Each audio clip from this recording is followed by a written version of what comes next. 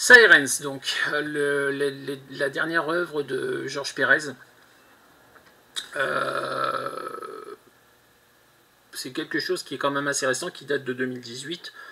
Euh, c'est un pavé de 6 épisodes. Hein. C'est un peu plus épais parce que dans, cette version-là, il y a pas mal de, covers, de sketchs à la fin et tout.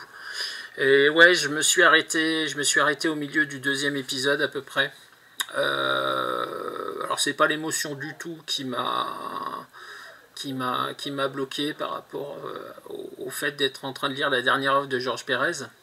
J'ai réussi à passer un peu le cap de la, la, tristesse de sa, disparition.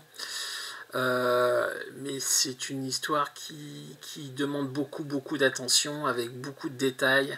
Euh, on, commence les premières pages, on est avec une sorcière à la chasse au dragon. On part dans l'espace, on va dans des arènes, il se passe beaucoup de choses. Euh, il y a des comics simples et il y a des comics qui demandent beaucoup plus de, concentration, d'attention.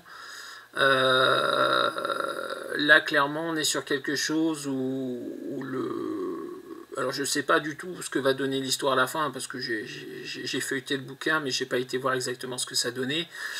Euh, par contre, je sais qu'à la fin, donc il y, a quand même quelques sketchs, quelques, quelques couvertures, des choses magnifiques. Euh, entre autres une double page que j'ai repérée que je vais vous présenter là parce qu'elle mérite vraiment. Voilà, construction en miroir avec les personnages vivants, les personnages zombifiés.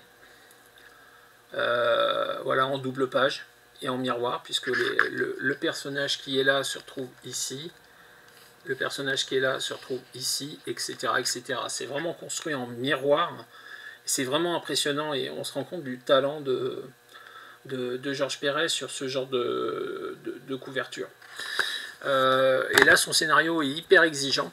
Donc je pense que c'est quelque chose euh, que je, vais me garder sous le coude pour un, moment où je serai au calme, détendu, où je pourrais vraiment investir dans la durée. Donc je pense que je vais attendre mes vacances euh, estivales pour le lire.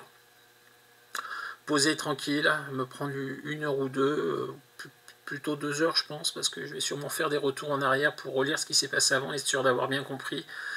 C'est quelque chose qui m'a demandé euh, beaucoup d'attention dès les premières pages une fois le premier saut passé, euh, les trois premières pages, trois quatre premières pages se lisent très facilement quand on est sur l'histoire de la sorcière et du dragon là. Et après, on saute complètement autre chose, de complètement différent. Donc c'est hyper exigeant en termes de, en termes d'attention, en termes de suivi. Et puis, euh, j'ai l'impression que c'est un puzzle, un puzzle en trois dimensions, assez éparpillé.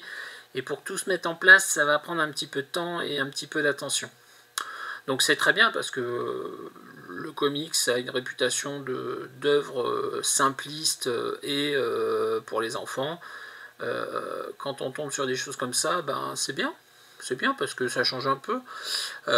par contre, oui, on ne peut pas lire ça n'importe quand. Il faut, pouvoir se, plonger dedans et, être très, très concentré sur l'histoire pour pouvoir l'apprécier et en, et en retirer tous les détails. Donc une lecture repoussée à plus tard. Et donc on va parler maintenant des New Warriors.